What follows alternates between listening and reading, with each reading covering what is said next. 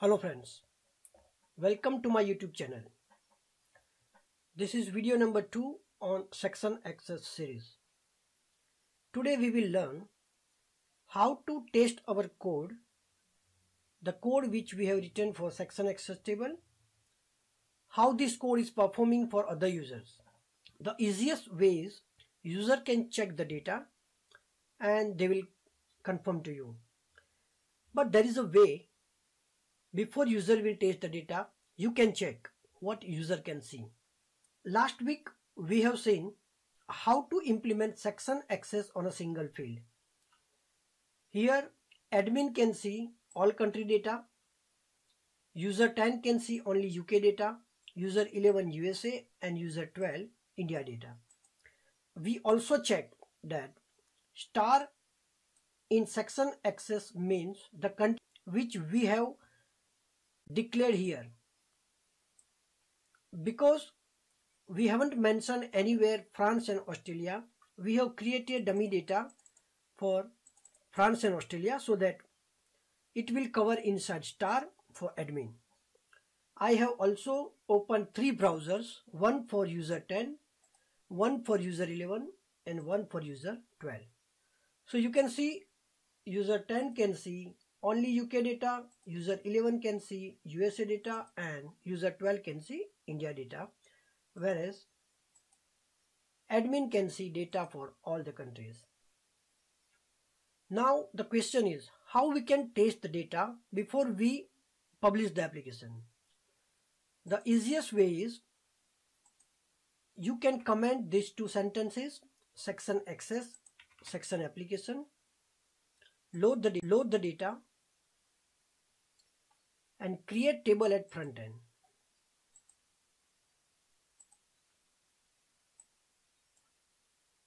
with the section access fields. Access, user ID and country and select one by one all the user. So when you select user 10, user 10 will see only this data UK. If you select user 11, User 11 can see only USA data and same for user 12. User 12 will be able to see only India data. But for admin, you cannot test data like this. So make sure that you can test data for all the users after implementing your section access. So before publishing the application, you will come to know that what, what exactly the user will able to see. Now we will come to the second point. We know that France and Australia were initially not added to the section access table. Admin or any user with access star will not able to see this country. Let me show this. We will remove these two countries dummy field and remove these two comments. We will reload the data and we'll see what admin can see. Admin will miss France and Australia data because France and Australia is not a part of section access. So the easiest option is you can add dummy here, dummy data for France and Australia and you can reload it and you can see now admin can see all data. But this is not the easiest way every time because right now we have only 5 countries. It could be possible that practically you have 30-40 countries or maybe instead of country you have customer here and you have thousands of customers. So this way it is not good to add manually here. Also say like tomorrow we have another country Germany with sales 150 if you load this data here admin will not see Germany here. Because Germany is not part of section access so in this case you have to add Germany again. Reload the data and now admin can see Germany. But actually this is not a good way to handle section access we should create these three lines dynamically according to the data. How can we do this? Let's see. First of all, I will delete these three lines. And instead of implementing section access at the top, I will keep it after our data load because now we are going to fetch country data dynamically from the data model or the data table. So first thing I will do here is I will create another field here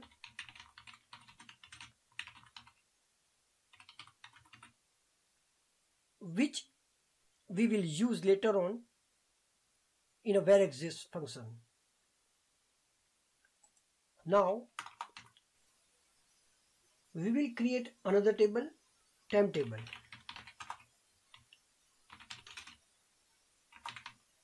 load user as access 1 1 dummy as user id 1 country as country 1 country as country SA1 resident our data table. If I will not use 1 here instead of if I have used no concatenate still we will get synthetic table. I want to avoid right now to show you what exactly going to happen. So I will load this table and we'll see we will see what exactly we are going to get. We should have now three table. One is data one is section access table and one is temp one table. Temp one table has got 16 rows because we haven't used distinct function here. So let me use distinct function here and we and we should now have only six rows there yeah now we need to concatenate this table with our section access table dynamically, but we should avoid all those countries for user ID dummy where we already have lines there. So what I'm going to do here is I will mention here load star where not exists country SA and I will remove this 111 here. And instead of temp 1 I will now do concatenate section access table. I will load I will load the script again. And now we will see what we are going to get at the model so in a section access table now we have dynamically three more country rows each one associated with user ID dummy. The same you can see here. So this way you can dynamically add all the country which are not part of section access table. Now I will uncomment this, reload the application